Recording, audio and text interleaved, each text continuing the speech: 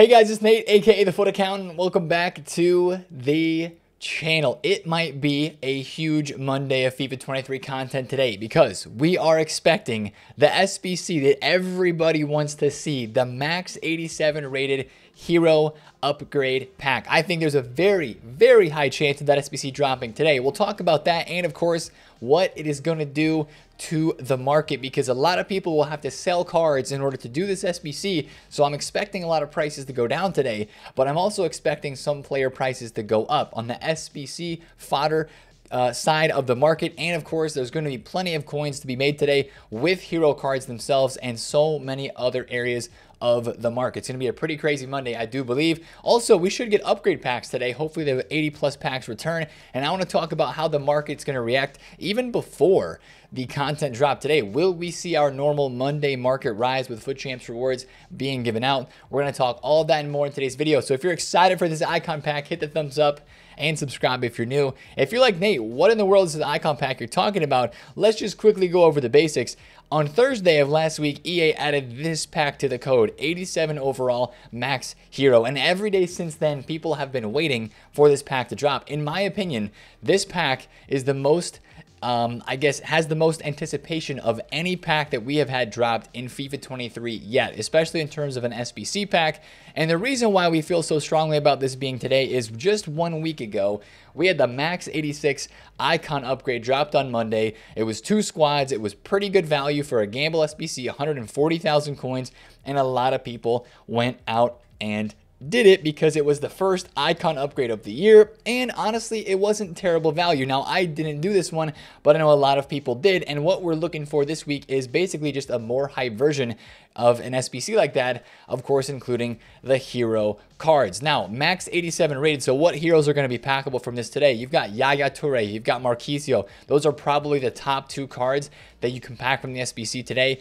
Govou, Smolarek, Cordoba, Robbie Keane, Harry Kewell. The list here is pretty nice. I mean, there's only like, I think 10 or so heroes that are not packable. Like, you can't get Voller, you can't get Okocha, you can't get Lucio, Mascherano, you know, Forlan. There are some really top tier heroes that won't be packable from this SBC pack, but a lot of really solid ones, as you can see by the price, right? 1.2 mil for Yaya is the most expensive card. The cheapest one, Lars Ricken, 22k. You do have a fair chunk of heroes that are under 100,000 coins, but you have a lot of heroes that are between 100k and 300k as well. So when we think about a price on this SBC, I'm thinking it's going to be similar to the Max 86 Icon upgrade, but I think EA know that hero cards are just more hyped in this year's FIFA than icons are. Let's be completely honest, right?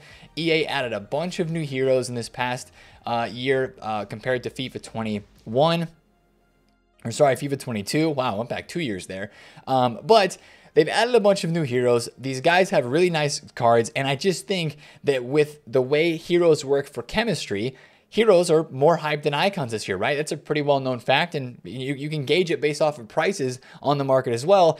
I think that EA might make this SBC a little bit more expensive than the 86 icon was. I'm thinking somewhere around the 175,000 coin range for that SBC today. And of course, that makes you think, Nate, what kind of fodder and what kind of SBC cards are going to be going up on the market today? Because obviously, people are going to have to go buy cards to do this, right? Yes, I do believe just like last week, you're going to see SBC prices rising on this game. SBC fodder, as we call it, right? The cheapest players by rating. I'll put the link to this page in the description.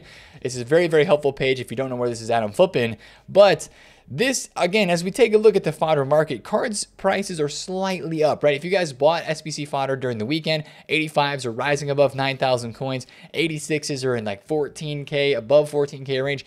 84s are 2.2 and 87s are about 18K. I do think that if the SBC is going to be a little more expensive today, one way they could do that is make it an 84 rated squad and an 87 rated squad. I also think 85, 87 would be a potential requirement for the SBC today, but hopefully it's less than 200K. If it's more than 200K, I'm going to be completely honest, people will still go and do it. I mean, I'm going to be very tempted to do this SBC today, regardless of the cost, because the gamble of getting one of these cards, and especially since they're new and there's a lot of great cards in here, the gamble of it is pretty enticing. I can't lie, and I think that's why there's so much hype for this SBC today. But that's kind of what I'm expecting for the price. And again, if it's anywhere under 200,000 coins, I do think you're going to see SBC fodder cards going up in price. And, and I mean, as I think about my club right now, I actually need to stock a couple fodder cards in my club.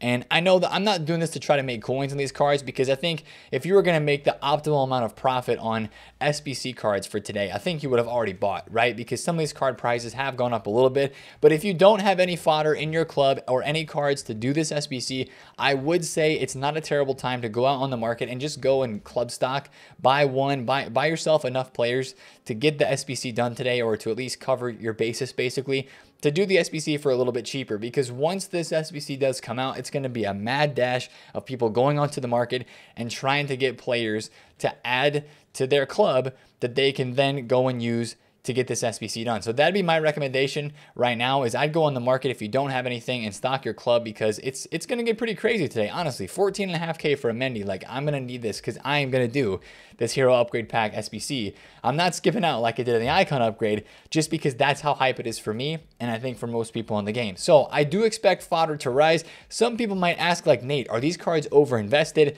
I mean, technically, there is a lot of investing that's gone on with this side of the market. I totally understand that. But I just think that with the amount of demand this type of SBC will have, of course, the ball is always in EA's court because if they make the SBC today too expensive, then they, you know, they they could make some people not do it if it's way too expensive. But I feel like way too expensive for an SBC of this caliber would have to be 300k plus. They'd have to really make it way too expensive for SBC fodder to drop today because I just feel like this pack has so much hype. So I feel like there's a very, very slim chance of seeing SBC fodder prices go down that much today. I think more so it's just going to be so much demand to get this done. And I think you'll see those prices go up. So there's not too much of a risk there. And if prices do go down a little bit, I definitely would not panic sell because again, we have a big promo upcoming this Friday with the new out of position change promo. So I just think that holding your fodder, even in the case that it would stay the same price or go down a little today, it definitely be something you want to hold on to throughout the week as it has potential to rise up with more content to be dropped, Messi player of the month still out, stuff like that. So let's talk about where the market's going to go today other than just SBC fodder. Well, you might be thinking about hero cards like Nate. If hero cards are going to be packable, isn't Yaya Toure going to crash in price? Isn't Robbie Keane, Marchisio, and Al Owairan, aren't these guys going to crash in price? Well, the answer is yes, slightly. But also, I think that a lot of these guys are going to end up going back up. This is, I think, what we're going to see is the same exact scenario that we saw last week with icons. And what I want to show you is last week, a very popular base icon that was packable from the Max 86 SBC, right? I think you can see it right here. Hullet was 872K, kind of dropped down into the panic before the SBC was released. Last Monday, Hullet went from 700, and actually it shows 790K. Hullet was down at like 730, I think. There was like an hour or two of panic selling right after that icon SBC was released, and then all of the top tier icons that were packable from that just went rocketing back up in price. Holy went from like 730 all the way up to 900,000 coins and so many other of your top tier hero cards, and even some of the ones that aren't that top tier. I think about Baby Blanc, who is not that expensive of an icon card, but last week he was in the low 300s and then rocketed up to the high 300s. He was like 370, 380 for a couple days last week uh, before now dropping back down a little bit more. I think that's how the hero is hero market's going to react today. I think guys like Yaya Toure especially. Yaya Toure was 1.3 mil on the weekend, right? Before this leak happened for this SBC to drop and now he's down at 1.169. This is a card today that might not drop any lower than like I don't even, he, he might not even go down a total of like 70 or 80,000 coins. Like seriously, I think that people are going to be so on top of the market today that yes, this SBC will have a lot of hype, but I also think that prices are going to rebound very fast today. So watch during that first hour after the SBC drops some of your most popular and uh, honestly the hardest to pack hero cards that will be in this SBC. Marchisio, um, the Yaya Toure that we just pointed out, some of those guys. Um, maybe Joe Cole, Cordoba, Smolarek, Govou. Those guys are going to be tough to pack. Not very many people are going to get it from a max 87 uh, Hero SBC today. So people are going to sell these and panic to go do the SBC and, and fear that their prices are going to go down. But then what actually is going to happen is people don't pack the Marchisio or the Yaya Toure that they think they're going to. And then, of course, they have to go back out to the market and buy those players back up for their team. And there's just a lot of hype for heroes in general when an SBC like this comes out. So that's what I would really, really watch out for today. Is if you want to make coins, watch out for some of these hero cards that are that are absolutely going to drop in price today because of panic selling um, around the content time after the SBC is released. But then, of course, watch them as they rebound back up later as people go back out to the market and buy the cards that they were not able to pack. So that's what I would say for today on the market. Be very careful with the lower tier ones, though. Uh, you know, guys. Guys, even like Landon Donovan, right? There's been a big MLS push recently. He's he was up to 110. Now he's 85,000 coins. I still think there's some hype there. Peter Crouch is like 40k. Tim Cahill's 42,000 coins. Some of these really low tier uh, hero cards might even get really low and then bounce back a bit just because they're still semi popular cards on this game. Ole, of course, with the nice links to Erling Haaland, both being from Norway. So really watch out for the hero cards today. But in general, if you think about it, last week we had this happen too. 150,000 coins ish to get this SBC done. A lot of people had to sell cards from their teams to go out and get this SBC done. So it doesn't just impact the hero cards in the market, it kind of impacts everything else as well. I do expect to see a pretty sizable just market dip today at content on rule breakers cards. I mean, these rule breakers that are in packs from rule breakers team 2, they might even get supplied a bit, right? Last week we had two different packs, a premium mixed players pack and a small prime electrum that were the rewards out of the two SBCs inside of the icon upgrade if that sort of thing happens today, if it's a two or three segment SBC, I think you'll see some supply hit the market as well. That could drop some of the prices on these uh, Rule Breakers Team 2 cards. And then I think you'll just see some panic selling on the rest of the market. Now, if you're trying to make coins specifically, if that's your only goal today on the game, watch Road to the Knockouts because these guys have games this week. Tomorrow is a UCL Tuesday with UEFA marquee matchups. Games and upgrades are on the line for a lot of these players. If there are price drops today on any of these cards, especially if they are cards that are very close to getting an upgrade, like Aubameyang, a guy who won his first round game two weeks ago when the Road to the Knockout promo was first out.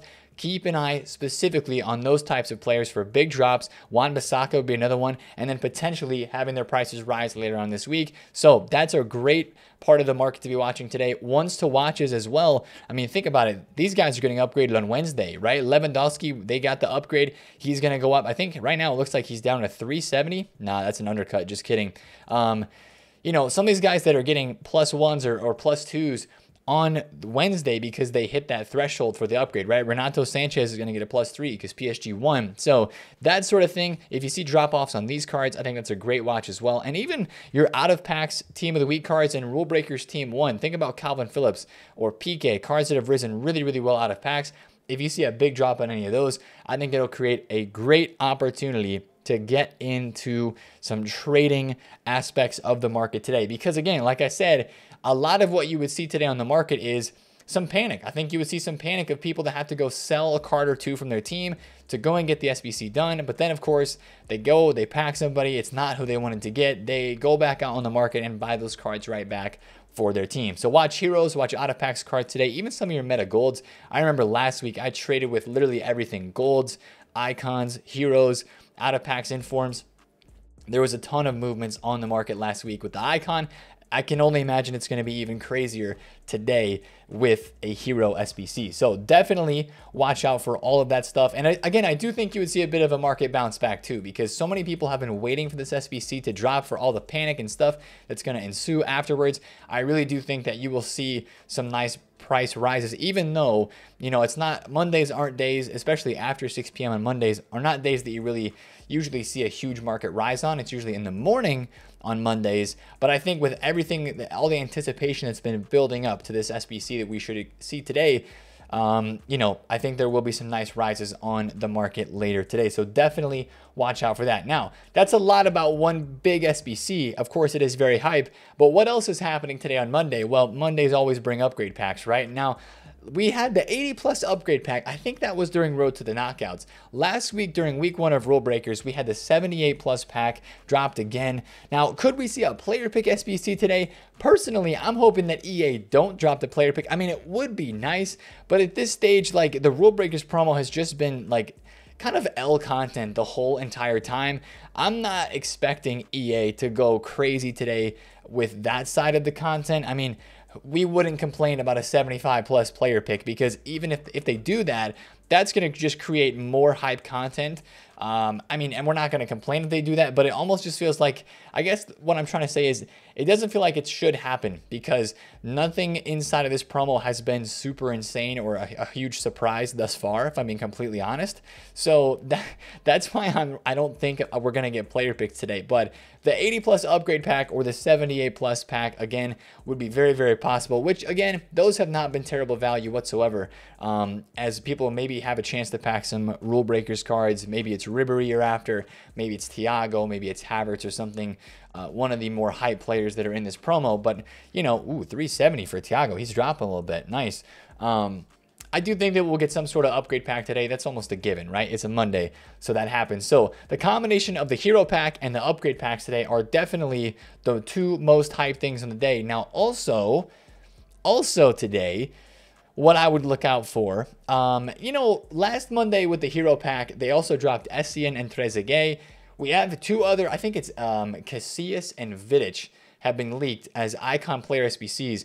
Mondays may be the new day where they drop icon player SBCs. They might not do any more today. I do think this could happen in, you know, the next couple of weeks though, is that we continue to see these drops. So just be careful. Maybe another icon player SBC today. I want to throw something out there though. I think EA is going to change it up this year. Maybe for the first time ever, we'll have specific hero player SBCs as well. You know, maybe since they're basing hero content, uh, you know, a lot more into the game with, you know, the hero upgrade packs and adding more heroes to the game. I just think that would be a nice touch, especially for as they're going to upgrade heroes throughout the year, maybe not give us like a Yaya SBC right away, but you know, a medium to lower tier, maybe like a Papan SBC that you could do for like a really cheap price, or you know, I don't know, maybe like a Govou or somebody like a newer hero like Rudy Voller. Maybe you could add in an SBC for him. Maybe we're too early for something like that as well, since these cards are not that expensive, but I just have a feeling that that could be something that EA would do at some point this year is drop FUT Hero player SBCs like we have Icon SBCs.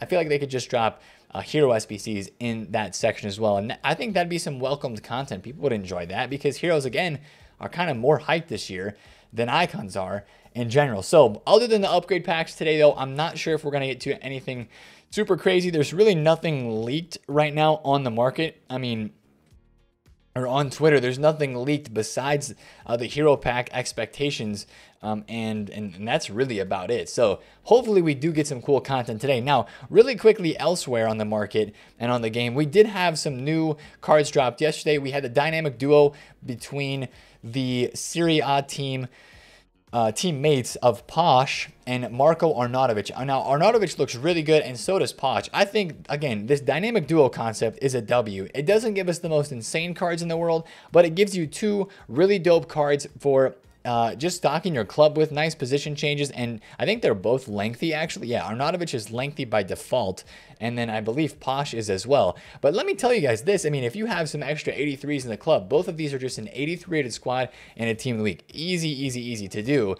These are great dynamic dual SBCs to get done, especially if you think about maybe starting to prepare your club for like an icon swaps further down the line. You know, if you do this, get it done, you automatically have some nice untradeable, decent players in your club that you can use and have some fun with when Serie A specific objectives come out. And it's kind of more like the card collecting aspect of the game that we talk about. Of course, a lot of you guys that are even watching this video have extra interest in, right? Whether it's making coins or putting some good value cards in the club.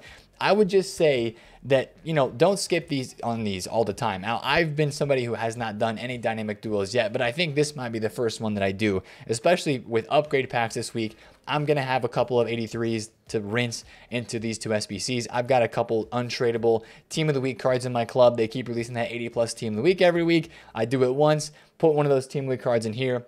You know what I'm saying? So I just think that these are, are something that to, to not skip out on because, you know, especially once we get those objectives upcoming, which I don't think are going to be too far away. I'm probably like, hopefully a month away from icon swaps, maybe a little bit longer than that. But even a swap program in general, we shouldn't be super duper far away from that.